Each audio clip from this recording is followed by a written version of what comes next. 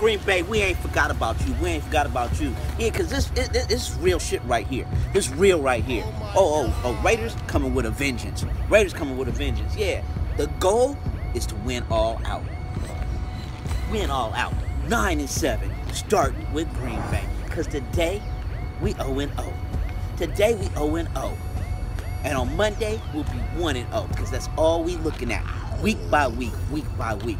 Charles Woodson. Yeah, Charles Woodson got all of his Green Bay fans coming in coming in for the Raider game. Oh yeah, yo yeah. He ain't forgot that he left there. He ain't forgot that he had some love over there. But he always got his love for his town business. Always got his love for his town business. Khalil Mack. Man.